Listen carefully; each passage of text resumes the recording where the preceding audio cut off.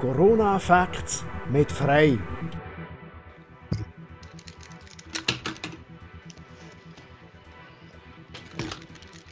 So, Patrick, weg mit der Maske, wir haben es überstanden. Corona ist fertig. Das wäre schön, wenn das so wäre. Die Welle ist wieder am Abklingen. Die Frage ist, wann gibt es das nächste Wachstum? Wie stark, wie hoch ist die Immunität? Wie gut ist die Immunität gegen Ansteckbarkeit und wie gut ist die Immunität gegen schwere Erkrankung? Das kann niemand so richtig voraussagen, aber ja. Ah, jetzt was wirklich ganz anderes. Äh, hast du einen Laserdrucker im Büro? Ja. Oder wohnst du an einer Straße? Nein, Äh, zündest du ab und zu eine Kerze an oder Ja. äh, brauchst du ein Duschmittel? ja, Äh, heute geht es um Nanopartikel. Äh, die gibt es ja unter anderem auch in mRNA-Impfstoffen, oder? Genau, so ist es. Wir haben letztes Mal bereits über Nanopartikel gesprochen und nicht, dass es allen wieder ablöscht. Wir haben letztes Mal einfach gar nie über Corona gesprochen und in dieser Episode reden wir auch nicht über Corona, erst in der letzten Folie. Nanopartikel sind immer mehr Bestandteil von unserem Leben und es ist interessant für alle, die ein bisschen über die Gesundheit Bescheid wissen wollen. Nanopartikel ist die Technologie vom 21. Jahrhundert und insofern hoffe ich, dass doch viele Leute Interesse haben, obwohl sie von Corona die Schnauze voll haben. Mhm, Eben Nanopartikel sind überall, man kann ihnen fast nicht ausweichen und sie haben eine Wirkung auf den Körper. Und ich denke, du hast dazu eine Folie, oder? Ja, vielleicht zwei oder drei sogar, ja, genau. Dann starten wir mal lieber, sonst wären wir nicht fertig. In der Fortsetzung von den Folien von der letzten Episode besprechen wir zuerst die Besonderheiten bei der Wirkung von Nanopartikeln und deren gesundheitliche Risiken. Nanoskalige Partikel verleihen den Substanzen bzw. Materialien neue Eigenschaften.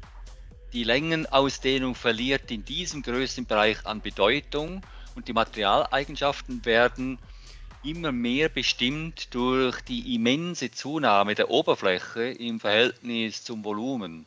Das heißt, Oberflächeneffekte wie Adsorption oder Benetzungseigenschaften treten verstärkt hervor. Man nennt das größeninduzierte Funktionalität.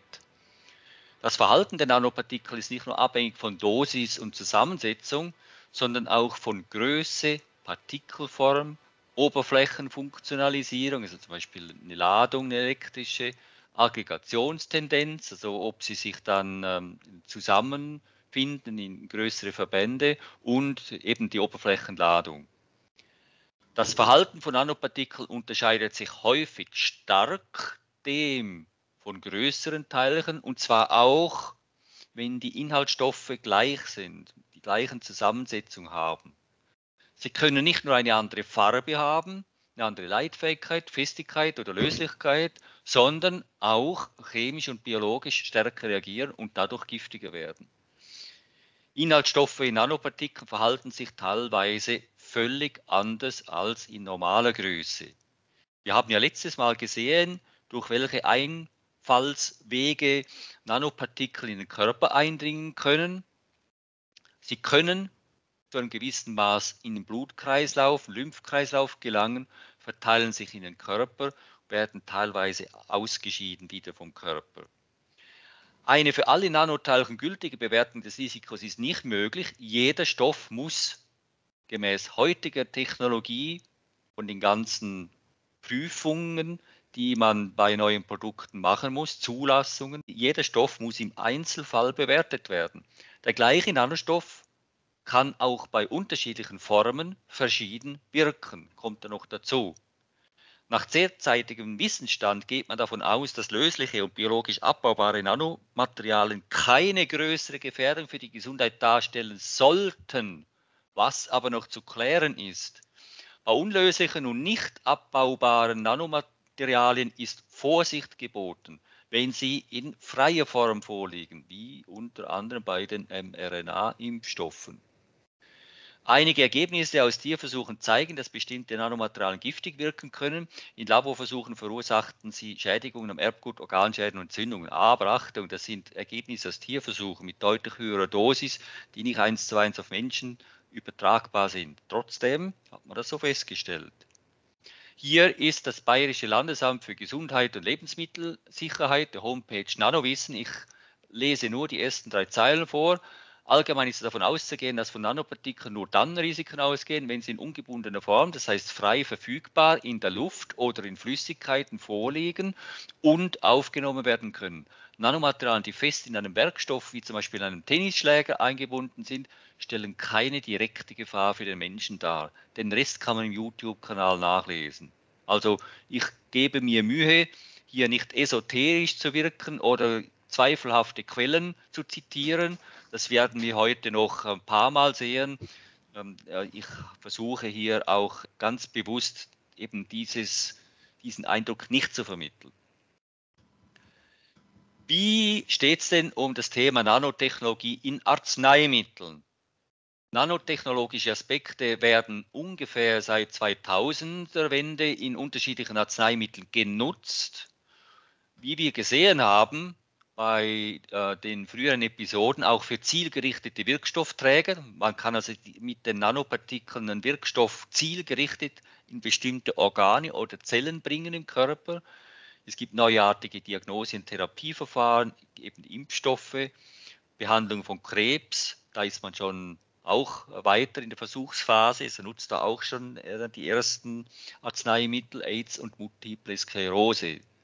Die sind bereits in Anwendung noch nicht teilweise Zulassung, teilweise werden sie schon angewendet. Niedermolekulare Arzneistoffe, das heißt also Molekülmasse kleiner als ein bestimmter Wert, nämlich 100, 800 Gramm pro Mol, die werden seit Jahren in nanostrukturierte Trägersysteme verpackt, um deren Körperverteilung zu beeinflussen, also wie sie im Körper verteilt werden und um eben die Wirkstoffe in erkrankte Körperregionen transportieren zu können. Wir reden da also von Umhüllungen von Arzneimitteln zum Beispiel.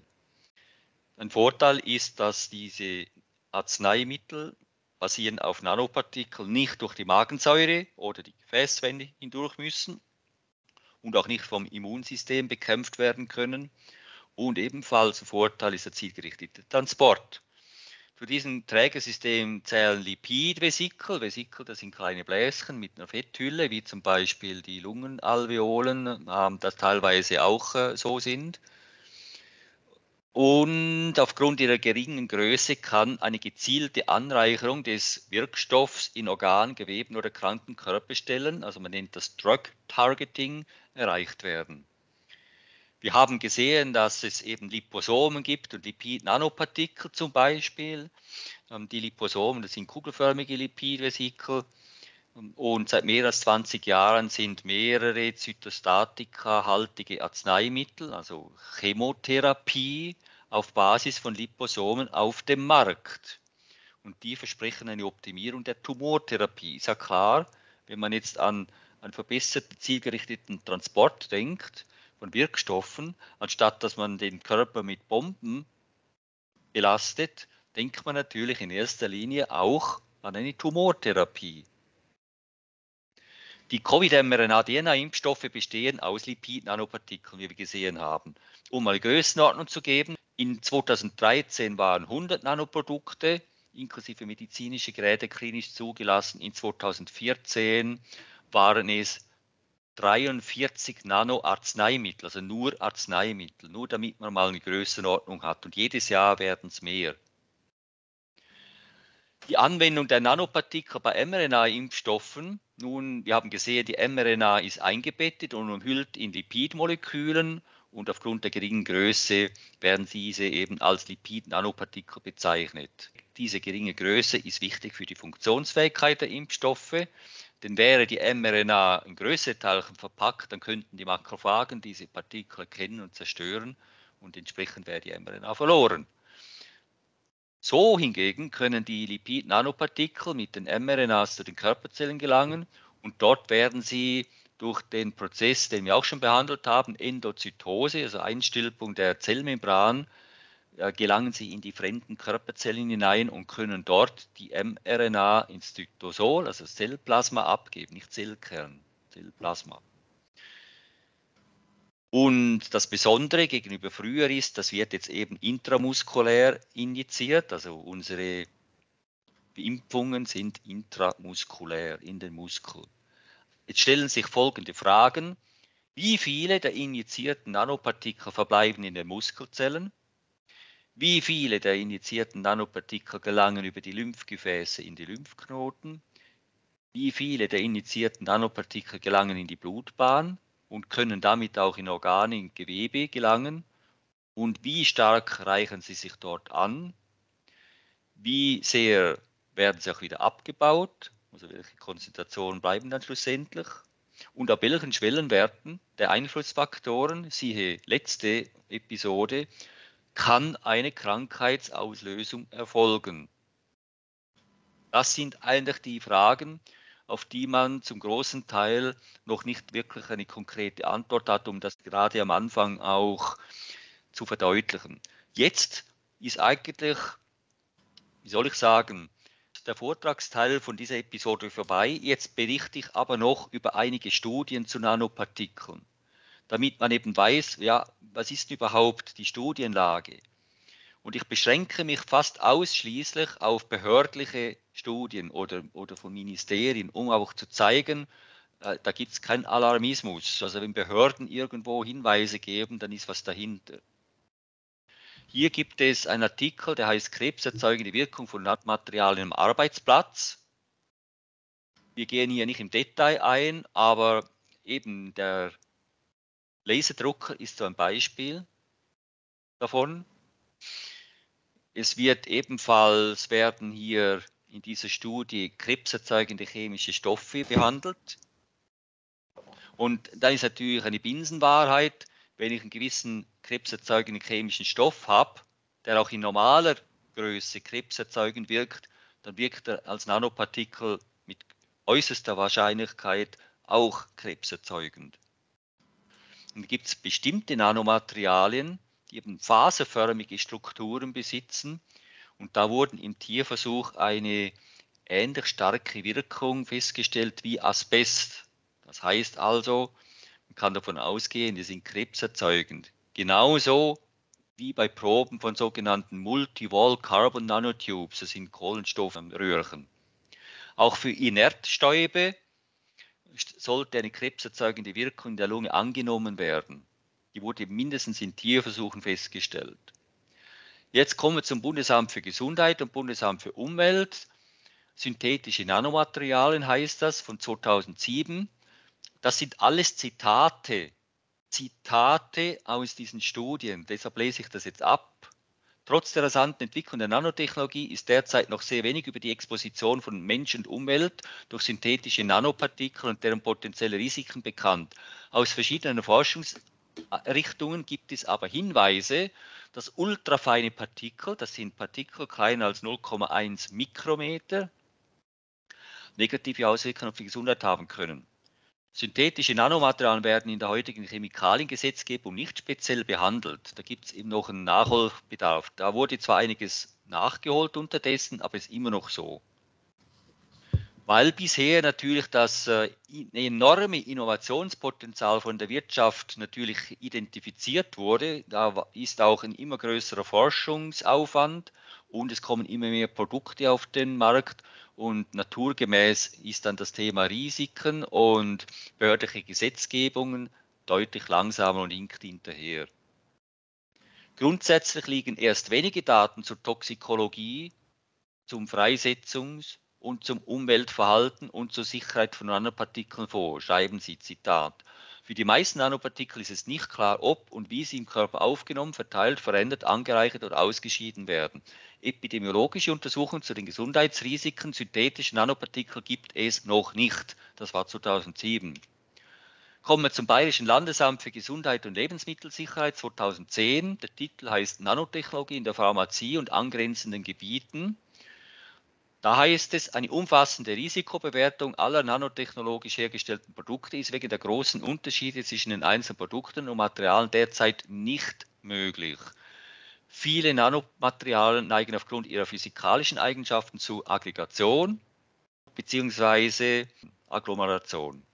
In Forschungsprojekten wird derzeit versucht, das Verhalten von Nanomaterialien näher zu beschreiben und ein standardisiertes Vorgehen für die Risikobewertung von Nanomaterialien zu entwickeln. Also da sieht man, wo der Handlungsbedarf besteht. Bestimmte Nanomaterialien könnten im Körper akkumulieren und dort Schäden verursachen. Andere wiederum werden vom Organismus unverändert ausgeschieden. Mögliche negative Auswirkungen von Nanopartikeln werden von verschiedenen Organisationen beschrieben. Die toxikologische Bewertung, also Gesundheitsrisiko von Nanomaterialien am Arbeitsplatz, wird derzeit aufgebaut, 2010. Über verschiedene Ansätze und Projekte werden Risiken genauer erforscht bzw. erfasst. Die Pharmakokinetik von Wirkstoffen, also über welche Wege diese Nanopartikel in die Körper gelangen, wie sie sich verteilen, anreichen, ausscheiden, also die Pharmakokinetik von Wirkstoffen, die mit Nanopartikeln verabreicht werden, ist heute erst ansatzweise bekannt. Hier besteht noch großer Forschungsbedarf. Generell besteht ein großer Forschungsbedarf im Bereich Nanotoxikologie. Nächster Artikel. Beurteilung eines möglichen Krebsrisikos von Nanomaterialien und von aus Produkten freigesetzten Nanopartikeln. Dies stammt vom Bundesinstitut für Risikobewertung und vom Umweltbundesamt vom 15. April 2010. Die beiden Bundesinstitute kommen zum Schluss, dass es in verschiedenen Studien mit Versuchstieren Hinweise auf eine möglicherweise krebsauslösende Wirkung einer Nanomaterialien gibt. Jedoch reichen die derzeit vorliegenden Daten nicht aus, um diese Materialien als potenziell Krebserzeugung für den Menschen mit hinreichender Sicherheit einzustufen. Wie ich gesagt habe, sind die Versuche teilweise schlecht von diesen Tierversuchen auf die Menschen übertragbar. Es ist auch nicht einfach, eine krebserzeugende Wirkung von einem Stoff herauszufinden bei Menschen. Wie soll man das jetzt machen kurzfristig? Das braucht Zeit. Zur Freisetzung von Nanomaterialien als Produkten und zur Exposition, also im Kontakt, sind derzeit ebenfalls keine zuverlässigen Aussagen möglich. Informationen darüber, in welchen Produkten und Zubereitungen Nanomaterialien in welchem Umfang verwendet werden, sind nicht in ausreichendem Maße vorhanden. Es gibt zudem nur wenige Untersuchungen zur Freisetzung dieser Materialien aus Produkten. Zugleich ist eine verlässliche Messtechnik zum Nachweis von Nanomaterialien in verschiedenen Medien noch nicht verfügbar bzw. erst in der Entwicklung. Das gesundheitliche Risiko dieser Materialien für den Menschen lässt sich daher noch nicht mit genügender Sicherheit abschätzen. Die beiden Institute sind der Ansicht, dass trotz der noch bestehenden Unsicherheiten die Befunde zum krebsauslösenden Potenzial einiger Nanomaterialien ernst zu nehmen sind. Kommen wir zu EMPA Düppendorf. Da gibt es eine Studie Nanosicherheitsforschung, sind wir auf dem richtigen Weg von Professor Dr. Krug. Diese Studie hat das Ziel, die Literatur der letzten 10 bis 15 Jahre zu sichten. Und was da herauskommt, ist, die meisten Studien bleiben hierzu eine klare Aussage schuldig, inwieweit eben Nanomaterialien eine Gefährdung für Umwelt und Gesundheit darstellen. Im Gegenteil, viele der Arbeiten widersprechen einander und kommen auch zu völlig falschen Schlussfolgerungen. Das sind Fehler in den Studien, haben wir ja leider in der Corona-Pandemie auch schon gesehen. Allerdings konnte hier nur eine grobe Qualitätskontrolle der Studien vorgenommen werden, die sich auf die Mindestanforderungen bei der Charakterisierung der Materialien konzentrierte. Und es ist unbestreitbar, dass diese synthetischen Nanomaterialien in die Lunge und in den Magen-Darm-Trakt äh, als Eintagspforte äh, nutzen und so in den Körper gelangen. Allerdings ist es meist nur ein sehr kleiner Teil der verabreichten Dosis, der in das Blut und nachfolgend zu sekundären Organen transportiert wird. Der größte Teil der verabreichten Dosis wird in der Lunge von Makrophagen aufgenommen und mit den Reinigungsprozessen aus der Lunge entfernt oder ausgeschieden. Eine systemische Wirkung auf die inneren Organe wurde in nur wenigen der ausgewerteten Studien beobachtet, jedoch nicht nachvollziehbar als spezifische Wirkung der synthetischen Nanomaterialien nachgewiesen. So, da gibt es hier noch weiter ähm, da machen sie noch Vergleich von Installations- und Inhalationsversuchen. Installation ist flüssige Arzneimittel, Inhalation ist Einatmen. Und dann heißt es hier, ein nanospezifischer Effekt lässt sich für die Lunge anhand der vorliegenden Studien nicht ableiten. So.